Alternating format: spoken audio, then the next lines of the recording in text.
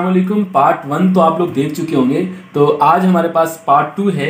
जिसमें मैं आपको बताऊँगा कि इस मशीन को किस तरह ऑपरेट करते हैं और किस तरह इसकी जो है ना आप कटिंग वगैरह कर सकते हैं और जो इसकी बाकी जो आइटम्स थे जिस तरह इसका एयर पंप था, इसके साथ साथ इसका फ़ैन था, वो किस जगह फिक्स होंगे। तो पहले मैं आपको इसकी फ्रंट साइड दिखा देता हूँ। तो ये देखें, ये हमारे पास इसका बॉक्स का कवर होता है। आपको फ़र्स्ट इसको ऊपर करके खोलते हैं इस तरह। तो आपको जो व्यू नज़र आता है, वो इस तरह से मशीन होती है। अब हमने इसकी जो प्लग वायर है, वो हम लोग कनेक्ट कर चुके हैं।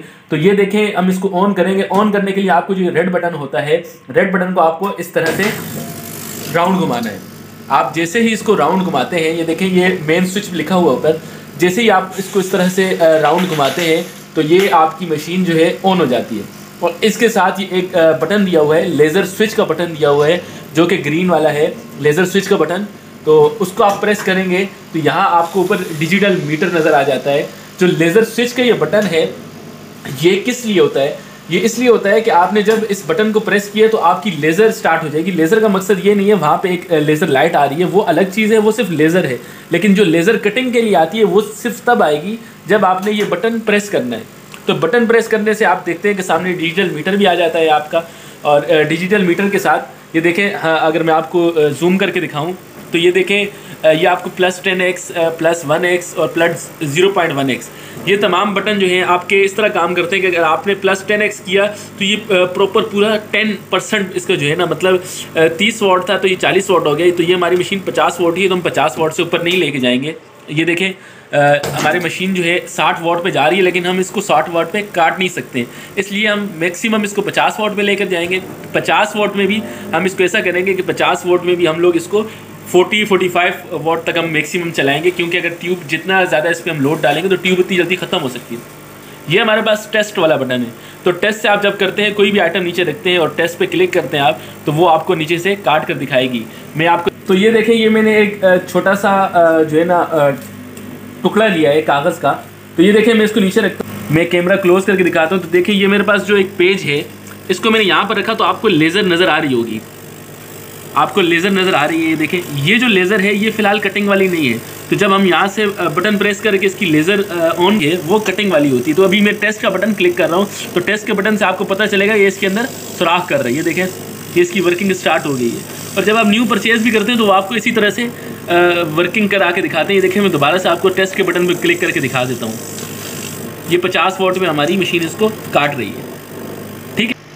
तो आपने देखा कि हमने लेज़र से टेस्ट करा के आपको दिखाया। तो अभी ये जो है हमारे पास, मैं आपको यहाँ से अंदर से दिखा देता हूँ कि क्या क्या चीज़ें, ये हमारे पास इसका बेड होता है। आप ये देखें, ये बेड होता है, ये इसलिए होता है कि आप जब कटिंग करते हैं तो इसके ऊपर वो प्लास्टिक आ जाए और ये नीचे हमारे पास जगह खाली होती है। इसमें मैं अगर आपको दिखा दूँ, कोई आपके पास बड़ा आइटम होते तो आइटम आप बड़ा रख के उसके ऊपर भी इनग्रेविंग या कटिंग ये सारी चीज़ें कर सकते हैं। तो ये हमारा बेड है, ये इस तरीके से फिक्स होगा। इसकी फिक्सिंग के लिए नीचे की साइड एक मैं आपको दिखाता हूँ।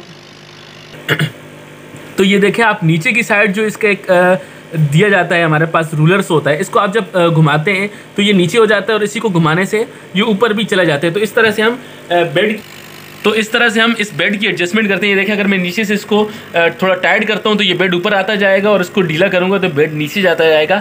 तो इसमें आपको फोकस एक फोकस होता है। फोकस में आपको पहले चेक करा दूँ, उसके बाद हम पीछे की साइड चलते हैं कि इसकी जो सारी चीज़ें हैं, किस तरह से फिक्स होती हैं। अच्छा जी जो ये देखें, ये आप इसके जो आपने नीचे ये हमने रखी है एक्रेलिक की प्लेट है, ठीक है? ये एक्रेलिक की प्लेट है। एक्रेलिक की प्लेट जब आप यहाँ पे रखते हैं तो इसमें आप देखें कि आपकी तकरीबन एक उंगली के बराबर का फासला होना चाहिए, ठीक है? मैं लेज़र बंद कर देता हूँ, क्योंकि लेज़र के बीच में आपका हाथ नहीं आना चाहिए, वरना हाथ जो है ना, कट सकता है। क्योंकि लेज़र अगर प्लास्टिक को काटती है तो ऑब्वियसली ये आपके हाथ को भी काट सकती है। मतलब ये आपकी एक उंगली का फासला होना चाहिए। तो आप एक उंगली के फासले पर ये नॉर्मल है मतलब आप, आपके पास दिया जाता है, छोटा सा एक इंस्ट्रूमेंट होता है, जो आपको चेक कराने के लिए होता है कि इसका फोकस कहाँ बैठेगा। तो ये देखिए, मैं आपको चेक कराता हूँ। अभी मैंने ये फोकस इसका सेट किया है, और फोकस सेट कराने के बाद अगर आप इसके टेस्ट के बटन पर क्लिक करेंगे ये देखिए, ये टेस्ट का बटन है हमारे पास। पचास वोट पे हम काम कर रहे हैं। यहाँ पे पचास वोट पे काम कर रहे हैं हम। तो ये देखिए, अभी हम जब इस पर क्लिक करेंगे तो ये वहाँ पे इनग्रेव करेगा। तो चले आप देखते हैं इसकी बैक साइड पे कि इसकी सारी अच्छा जी, ये तो देखें आप कि हम लोग इसकी बैक साइड पे आ चुके हैं। यानी हमने मशीन ही घुमा ली और इसको बैक साइड पे कर दिया। तो सबसे पहले मैं आपको इनके स्विच के बारे में बताता हूँ। ये देखिए, हमारे पास ये जो तीन स्विच लगे हुए हैं, ये हमारे पास एक मोटर के लिए है, एक प्रेशर पंप के लिए है और तीसरा हमारे पास जो है, वो इसकी फ़ैन के लिए। तो ये तीनों स्विच हमारे पास मौजूद हैं। ये 220 ट्वेंटी वॉट पर चलते हैं। अगर आप वो तमाम चीज़ें दूसरी मतलब किसी और सॉकेट में लगाना चाहें डायरेक्ट आप मेन स्विच में लगाना चाहें तो आप 220 वॉट पे चला सकते हैं। इसके साथ देखेंगे हमारे पास जो मेन इसकी पावर केबल होगी, वो पावर केबल यहाँ एडजस्ट होती है पावर केबल यहाँ लगती है और वो फिर आप मेन स्विच में लगाते हैं। अगर आप तीनों को अलग से भी मेन स्विच में लगाना चाहें तो लगा सकते हैं, कोई इशू नहीं होता। फिर इसके साथ चीज़, मैं लास्ट चीज़ आपको बता दूँ, ये हमारे पास होती है आपके अर्थ के लिए होती है। यहाँ से आप इस वायर इसके राउंड घुमाकर उसको अर्थ दे सकते हैं, चाहे वायरिंग से दें या ज़मीन से दें, किसी जगह से भी आप इसको अर्थ दे सकते हैं। इसके बाद हमारे पास जो मेन इंपॉर्टेंस आ जाती हैं चीज़ें, वो ये हैं वाटर आउटलेट आ जाता है वाटर इनलेट आ जाता है उसके साथ। एयर इनलेट आ जाते हैं। तो ये, जो एयर इनलेट वाला पाइप है, ये डायरेक्ट आपका प्रेशर वाले उसमें लगता है पंप में लगता है। तो मैं आपको लगा कर दिखाता हूँ, ताकि एक एक चीज़ आपको मैं उसके अंदर लगा कर दिखा दूँ, ताकि आपके लिए आसानी हो।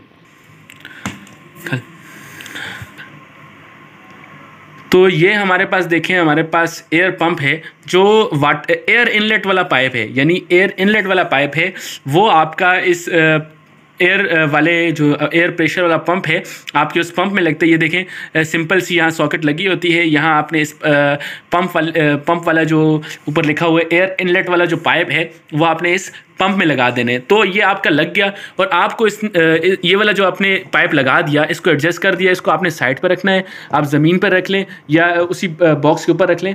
और जो इसकी केबल है, इसकी जो केबल है, वो आपने यहाँ किसी भी स्विच में लगा देनी है, ठीक है? आपने दोबारा बता देता हूँ, एयर इनलेट वाला जो पाइप है, एयर इनलेट वाला पाइप आपने इस एयर प्रेशर वाले पंप में लगाया प्रेशर वाला पंप देख लें। एक एयर प्रेशर वाला पंप है आपके पास और एक वाटर वाला पंप है। तो ये देख लें कि वाटर वाले पंप में नहीं लगाना आपने। ये जो एयर वाला पाइप है, वो आपने एयर वाले ही पंप में लगाना है। तो ये हमने इसमें पाइप लगा दिया और इसको हमने इसको साइड पर रख देते हैं। उसके बाद देखिए, हमारे पास जो दूसरी चीज़ आती है, वो हमारे पास इसका वाटर वाला पंप आता है। इस वाटर वाले पंप के नीचे देखिए, आपको ये चार जो इसके होते हैं वो मिल जाते हैं इसके ताकि आप किसी बकेट में रखते हैं, किसी किसी भी रबड़ वाली चीज़ से रखते हैं तो पानी के अंदर ये चिपक जाता है इस तरीके से। अगर आप किसी बॉक्स में रखते हैं तो उस बॉक्स में इस तरह से चिपक जाएगा और यहाँ से इसका वाटर ये खींचता है वाटर खींचता है इससे अंदर से और ये वाटर हमारे पास ऊपर जो ट्यूब में होता है ट्यूब में फ्लो करते हैं। तो इसमें कौन सा पाइप लगेगा? बहुत सारे लोग इसमें गलती कर देते हैं कि गलत पाइप लगा देते हैं। तो आप देखें कि इसमें कौन सा पाइप लगना है। ये जो वाटर इनलेट वाला पाइप है मैं दोबारा से बता रहा हूँ, जो वाटर इनलेट वाला पाइप है, आप देख भी लें, अगर मेरा कैमरा आपको जूम करके दिखाए तो ये जो वाटर इनलेट वाला पाइप है वाटर इनलेट वाला पाइप आपके इस पाइप में लगेगा, ठीक है? वाटर इनलेट वाला पाइप आपके इस पाइप में लगता है, जबकि जो आउटलेट वाला पाइप होता है, वो आपकी उसी बकेट में, आपने किसी भी बॉक्स में रखा हुआ पानी, जो वाटर आउटलेट वाला पाइप होगा, वो उस बॉक्स में वापसी डाल देते हैं। यानी ये उस बकेट से पानी खींचेगा और ट्यूब में फ़्लो करेगा और उसी ट्यूब से पानी होता हुआ, वापसी गुजरता हुआ, उसी बकेट में दोबारा आके गिरने लग जाएगा। अच्छा इसका आसान हल ये है कि वाटर इनलेट और आउटलेट का, क्योंकि हम जिस भी बकेट में रखेंगे तो उस बकेट में कोई भी, जो है मिट्टी वगैरह और कोई भी गर्दो गुबार नहीं आनी चाहिए। तो उसका आसान हल ये कि मैंने इस बकेट का जो ऊपर कवर है, उसका जो ढक्कन है, उसके अंदर मैंने दो होल कर लिए छोटे से। तो एक होल में वाटर इनलेट वाला जो पाइप है, एक होल में वाटर इनलेट वाला पाइप लगा देता हूँ और दूसरे होल में हम वाटर आउटलेट वाला पाइप लगा देंगे। और यही पाइप हम उसी बकेट में डाल के ऊपर से इस ढक्कन को बंद कर देंगे ताकि जो कोई मट्टी है या इसके अंदर से धुआँ निकलता है, बाकी तमाम चीज़ें डस्ट आती रहती है तो वो डस्ट इसके अंदर ना जा सके। अच्छा ये देखें, मैंने दोनों इसके जो पाइप हैं वो पास कर लिए तो हमारे पास जो इस साइड वाला पाइप है, वो वाटर इनलेट वाला है तो मैं वाटर इनलेट वाला पाइप जो है अपने पंप में लगा देता हूँ, ठीक है? पंप में जब ये पाइप लग जाएगा तो इसी पंप को मैं उस बकेट के अंदर डाल दूँगा और उसके साथ ही इसकी जो वायर होती है वायर के लिए भी आप एक छोटा सा होल कर लें साइड से, ताकि वायर भी आराम से उस बकेट से बाहर आ जाए और आपका जो बकेट है, वो बिल्कुल डस्ट प्रूफ हो जाए। ये देखें कि जो हमने वाटर इनलेट वाला पाइप था, इसमें लगा दिया और जो हमारा बकेट का ऊपर से बॉक्स का कवर था, उसके अंदर हमने दो होल कर दिए थे और एक जो है हमारे पास जो तार का होल होगा, उसके लिए हमने यहाँ पर जगह बना ली। अब इस पंप को हम इस वाटर के अंदर रख देते हैं। वाटर के अंदर जब इसको रखेंगे तो इसके नीचे जो छोटे से टायर्स हैं, वो उसके साथ चिपक जाएँगे और ये तार, जो वायर है, हमने यहाँ से निकाल दी और वाटर आउटलेट वाला पाइप भी इसके अंदर डाल देंगे और इसको बंद कर देंगे। मैं आपको ऑन करके दिखाता हूँ कि जो वाटर आउटलेट वाला पाइप होता है जब पानी इससे जाएगा ट्यूब के अंदर तो इसी दूसरे पाइप से आउटलेट वाले पाइप में पाइप से वापसी इस बकेट के अंदर पानी आके फ्लो करेगा। तो मैं अब इसका स्विच जो है ऑन करने लगा हूँ। तो ये देखें, मेरे जैसे ही इसका स्विच ऑन करना है तो इसके अंदर से जो आउटलेट वाले पाइप से जो पानी है, वो वापसी इसी बकेट के अंदर गिरने लग जाएगा। तो ये आपका पानी कम नहीं होता, लेकिन आप फिर भी पंद्रह बीस दिन बाद इसका पानी चेंज कर दें, ताकि जो पानी अगर गंदा हो चुका है तो वो पानी दोबारा से फ़िल्टर हो जाए। और ज़्यादा जो फोकस है, आपका इसी पे रहना चाहिए कि आप फ़िल्टर वाला पानी यूज़ करें, ताकि आपकी ट्यूब जो है, वो अंदर से ख़राब ना हो।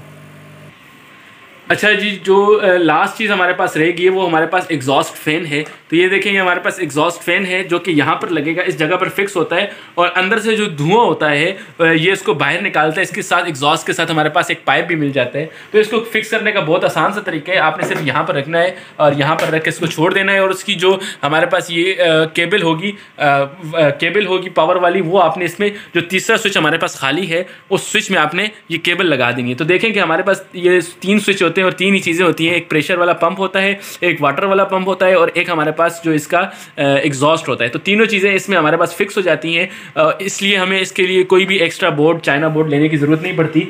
और जो मेन चीज़ हमारे पास पावर केबल है पावर केबल तो बहुत आसान है, आप सबको आती है। तो पावर केबल आपने इसमें आराम से फिक्स कर देनी है और पावर केबल को आपने मेन स्विच में लगा देना है। तो आप जैसे ही इसको मेन स्विच में लगाते हैं और बटन को प्रेस करते हैं तो ये आपकी मशीन ऑन हो जाती है। तो अब आपको हम इसे ऑन करके भी दिखाते हैं। ऑन करने से पहले एक लास्ट चीज़ आपको बता दूँ कि काफ़ी लोग जो हैं, इसको आपको जो लेज़र ट्यूब है, उसको खोल के दिखाते हैं। तो खोलने का तरीका ये होता है, यहाँ पर एक चार मुँह वाला पेचकस लगता है और आप उसको खोल लेते हैं ड्राइवर से स्क्रू ड्राइवर से खोलने के बाद इसके अंदर आपकी ट्यूब होती है। अगर उसको ना खोला जाए तो अच्छी बात है, क्योंकि ट्यूब से हमारा कोई काम नहीं होता। ट्यूब सिर्फ़ अपना अंदर से लेज़र लेज़र को भेजती है और लेज़र कटिंग करती है आगे। तो ट्यूब ना खोली जाए तो अच्छी बात है, ट्यूब को पैक रहने दिया जाए, क्योंकि कंपनी ने पैक की हुई है तो ट्यूब को पैक रहने अच्छा जी तो एक चीज़ हमारे पास हमने छोड़ दी थी, ये एग्जॉस्ट पाइप जो है, आपने इसके आगे आराम से फिक्स कर देना है और ये काफ़ी लंबा हो जाता है पाइप। और अगर आपको इसको मज़ीद बड़ा करना हो, यानी आप किसी इसको कमरे में यूज़ कर रहे हैं तो आप इसको मज़ीद बड़ा भी कर सकते हैं, आपको एक्सटर्नल मज़ीद पाइप मिल जाता है। अच्छा तो जो हमारे पास डेटा केबल होती है, उसमें हमारे पास डेटा केबल इस तरह से होती है और ये हमारे पास आप डेटा केबल देख रहे हैं। ये वाली जो हमारे पास यूएसबी केबल है, वो आपके लैपटॉप या पीसी में लगती है।